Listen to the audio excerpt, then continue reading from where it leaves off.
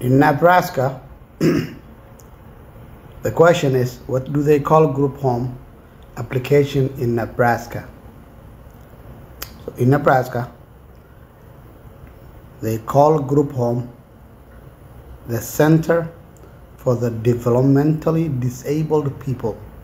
I don't know why they say developmentally because some people who are in group home are not mentally disabled. So anyway, that's what they call it. Uh, a center for the developmental disabled means any residential facility that's not licensed as a hospital that houses more than four people, four or more people.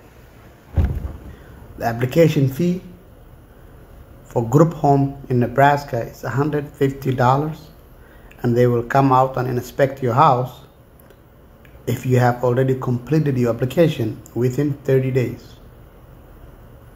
And during the inspection, they expect you to behave, act, and be knowledgeable as if you are already operating. They will quiz you on your ability to know your policy and procedures, your ability to keep records.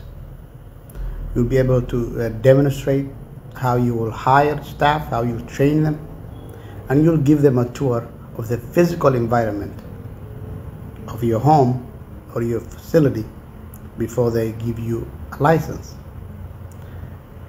Like everyone else, you will need a written policy and procedures. You will need job descriptions. You need to make sure you do health checkups for your workers.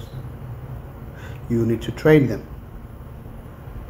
You have to maintain personnel records residential records, including timesheets. And with timesheets, you need to make sure you meet the requirement for electronic visitor verification, EVV, for your caregivers and keep those records for billing purposes.